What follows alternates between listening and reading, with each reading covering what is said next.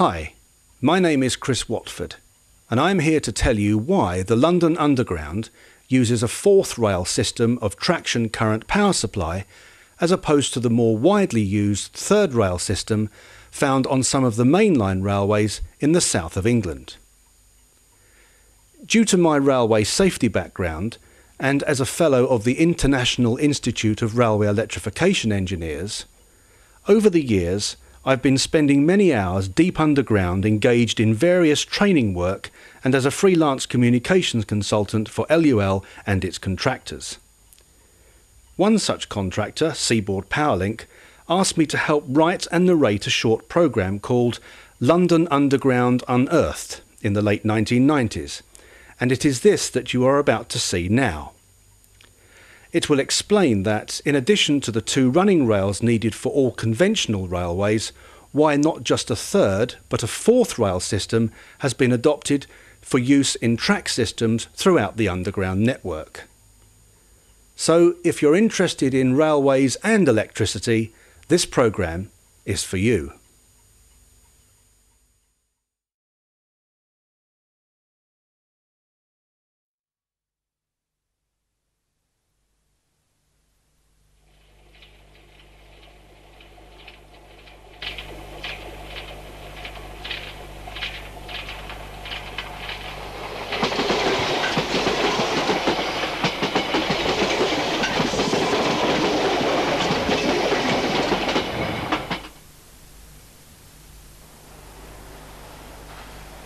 The London Underground is famous throughout the world.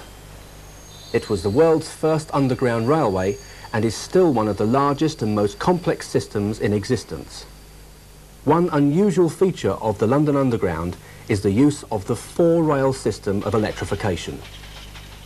Why is this unusual? Well, most electrified railway systems, which use conductor rails as opposed to overhead electrification, use a three-rail system where the running rails act as the return conductor. The three-rail system functions perfectly well. It is safe enough and saves money on having to provide and maintain extra rails and additional equipment on trains and in the electrical substations. So why does London Underground use the four-rail electrification system? Well, the original reasons for choosing the four-rail system date back to the early years of the century. It was feared that corrosion of underground pipes and cables could result from the use of a three-rail system below ground because of the leakage of currents to earth. The four-rail system provided a secure and insulated return path, something that also simplified the use of electric track circuits for signalling. The four-rail system has one other advantage. What is it? Well, simply that it can continue to supply power to trains if either the negative or positive insulation fails. This is not the case on a three-rail system, because if the insulation of the third rail fails, a short-circuit current flows and the substation circuit breakers open. This means that the service is interrupted. But, as with many good things in life, this advantage comes at a price. If an insulation failure occurs on one pole of our system, let us say the positive, then there is no big problem. But if the insulation fails on the other pole at the same time, large currents can circulate via earth. If the insulation failures are close together, enough current will flow to open the substation circuit breakers. But if the failures are further apart, the earth fault current is no more than normal load current and the circuit breakers remain closed. So a current of up to 4.5 thousand amperes can circulate uncontrolled via earth. If this happens, part of the current path will eventually overheat, burn out and cause an arc. If this arc is in a tunnel, or worse still on a train in a tunnel, the consequences can be horrendous. So, what can we do to prevent such an incident? Well, since we need two faults to cause an arcing incident, we need to do two things. Split the railway up into sections so that a fault in one section can't get together with a fault a long way down the track, and detect and remove the first fault as quickly as we can, that is before a second one can occur. Well, the first stage was to divide the underground's electrical system into smaller parts. Each line is divided into a number of sectionalisation sections. A typical section would be section 8, which covers the Piccadilly line east of Holloway Road. Separation of this section from its neighbouring ones is achieved within the substations by maintaining bus coupler switches in the DC bus bars in the open or off position. Outside the substation, the normal four foot long substation gap in the conductor rails is extended to 48 feet. This makes it impossible for trains to bridge the gap because although the collector shoes of any particular car are interconnected, it is impossible for the shoes at one end of a car to be in contact with one section and shoes at the other end of the same car to be in contact with the neighbouring section. In this way, any earth fault occurring anywhere on the system will only affect that one section. Locating faults within the few miles of one section is obviously far easier than investigating the whole line or the whole system. Once we have divided the system into manageable sections, we need a way of detecting the fault. If you are electrically minded, you may have already realised that we can do this by measuring the track voltage. The problem is, however, that in theory it is not possible to measure a fault voltage from a conductor rail to earth on a four-rail system because there is no earth reference which can be used as a return path for the current needed to operate the meter. To solve this problem, we install earth bleed resistors at the trackside at each end of every sectionalisation section. These are very high power resistors consuming 13 kilowatts per set and with a considerable amount of heat generated by a current of 2.1 amps flowing through the 300 ohm resistor bank. The 300 ohm resistor is split into proportions of 100 ohms negative to earth and 200 ohms positive to earth which sets the normal track voltages at 210 volts and 420 volts respectively. The track voltage is monitored continuously, but the voltage measurements are taken between the negative rail and earth only, as it is not necessary to measure both. If a serious fault, in the order of 0.5 ohms, was to be experienced between the negative rail and earth, the effect would be that the voltage between the negative rail and earth would drop from the normal 210 volts to almost zero, whereas the 420 volts on the positive rail would increase to almost 630 volts. It is worth noting that a simultaneous fault of 0.5 ohms on the opposite positive pole would cause a total fault current of over 600 amps, which is enough to cause serious arcing and even a fire. Remember how helpful it was to split the railway into sections? Well, in many places there are extra busbar coupler circuit breakers. These are usually kept closed to maximise efficiency, but they can and should be opened up by the electrical control room if an earth fault happens nearby. This divides the railway up into even smaller sections, so reducing the chances of arcing and fire even further. To summarise then, the four-rail system helps reliability, but it brings with it risk. If two simultaneous insulation faults occur, allowing currents to flow via earth, arcing and fire will almost certainly result, probably on a train. To minimise the chances of that happening, we can do two things. Find and remove earth faults as quickly as we can. Where they exist, use normally closed busbar coupler circuit breakers to create small electrical sections until the first fault has been removed. Remember, keep the time short and the area small to keep our customers safe.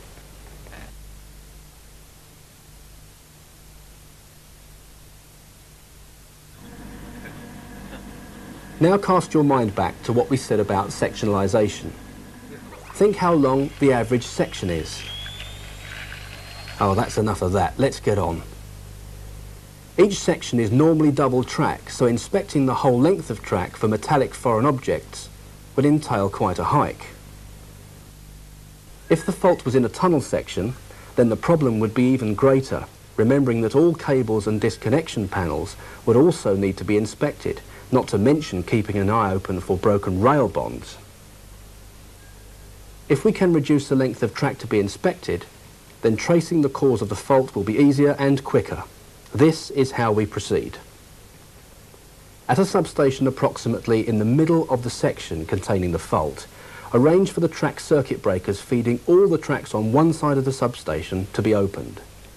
In this case, switch off all the track circuit breakers at substation C feeding towards substation B. This will not normally affect track supplies as the tracks are usually double-end fed from neighbouring substations. If this switching has been completed and a fault is still being indicated, then it is located somewhere between substation C and the end of the section containing the voltmeter, somewhere between substations A and C. However, if the fault has disappeared, then it lies beyond the position of the open circuit breakers, in other words, between substation C and substation D. Assuming that the fault is still being indicated, then it can be located more precisely by restoring the original feeding arrangements and then opening the track circuit breakers midway along the faulty section. In this case, opening all the track circuit breakers at substation B feeding towards substation C. Again, if the fault indication remains, the fault lies between the open track circuit breakers and the end of the section, that is, between and including substations B and A. But if the fault has disappeared, then the position of the fault lies on the track, or in the track cables, between substations B and C. But if so, on which track? By reclosing all of the track circuit breakers, then opening two diagonally opposite breakers at a time, it can be established which track contains the fault. To inspect one set of tracks and cables between a pair of substations is a much easier task than the one we started with. This is the basic method of detecting the location of a fault. However, there can often be more complicated situations to deal with, for instance, where there are four tracks. In this case, the elimination process is merely extended as here.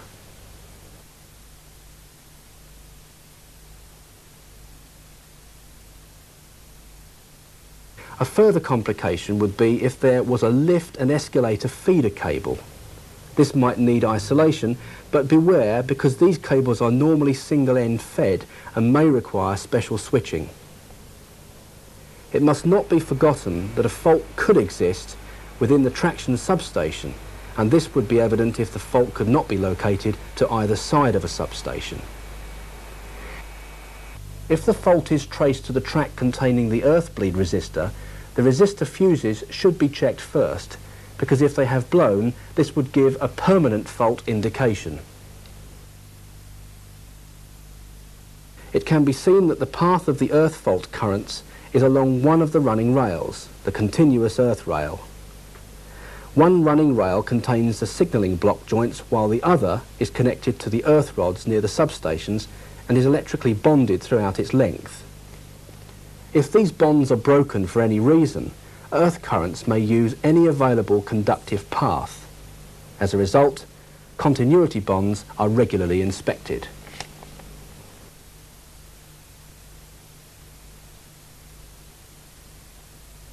We have so far addressed the electrical theory behind the subject of earth faults and the principles of how they can be located.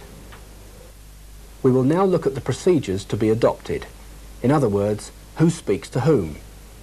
This is laid down in the reference or working manual and must be followed. When an earth fault occurs, it can be detected at one of two places.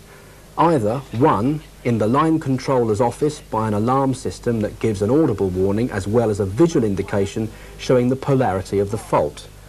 Or, two, within the electrical control room by recording voltmeters. These also contain an audible alarm but have the added advantage of being able to show the level of fault and, by the actual pattern traced by the voltmeter, help to indicate the type of fault. For example, here is a traction motor fault on a train.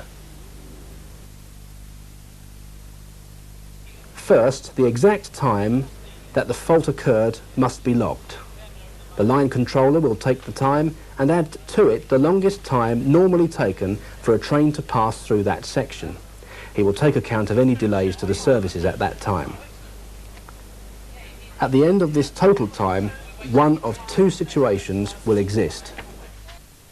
Either the fault is still apparent, in which case its location is permanently within the section and may be caused by a track fault, a cable fault, a lift or escalator fault, or by a defect within a substation. Or the fault has disappeared, in which case it is probably mobile and is most likely on a train. Check to see if the fault has transferred to a neighbouring section. If so, at what time? Which trains pass that point around that time? With luck, you may already have identified the faulty train. If the fault has disappeared without being transferred to another section, check if there are any rolling stock depots that the train may have entered. These are usually isolated from the main traction current section. Again, check which trains were due to return to the depot. Remember that at some points on the underground, trains leave our system and run over routes owned by Railtrack. Here, the line controller will have to consider the normal running times to the end of the line and back. For example, he would need to take into account the running times from Turnham Green to Richmond and back. After this time, the fault might reappear on section 10. Eventually, it may be established that the fault is not on or caused by a train and has remained in one section. In this case, the line controller and electrical control room operator must liaise to agree the most effective way to proceed. This must be by mutual agreement since each party has access to certain information. For instance, only the electrical control room operator will know where substation maintenance is being carried out.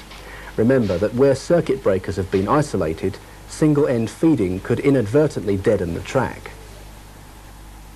Likewise, only the line controller will know whether gaps in the service or timetable are sufficient to allow traction current to be temporarily discharged if need be. If the fault has been located in an open section, the line service centre should be requested to send a technical officer to inspect the area for obvious faults. If the fault is located in a tunnel, an inspection may not be possible until the start of engineering hours.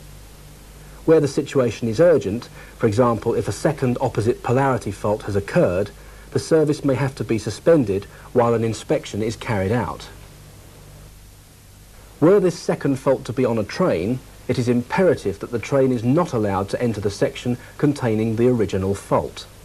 The train must either be rerouted, withdrawn from service and stabled in a suitable siding or rolling stock depot, or, if this is not possible, the service may have to be suspended the risk of a serious train fire must be avoided at all costs. It has happened before and it could happen again. But remember that there is no need for immediate panic the moment an earth fault occurs. Our use of the four-rail system gives us the opportunity to trace the fault and deal with it in a logical way.